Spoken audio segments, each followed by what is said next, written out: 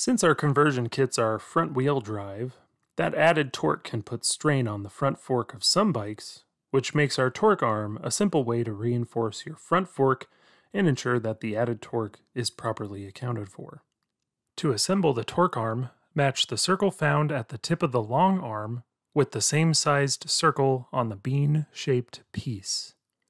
Place the provided screw through both holes and place the washer and bolt on the other end. It should look like this. Slide the assembled torque arm onto either side of the wheel facing forward. We recommend the non-motor cable side. Slide the thick washer over the axle, screw the axle nut onto the end of the axle, and finger tighten. Angle the arm so that it is flush with the leg of your front fork. Thread the end of the hose clamp band through the narrow slot on the arm, around the right fork leg, and back into itself. When you have the band snug, tighten the little screw to lock the band into place. Then use a wrench to fully tighten the nuts.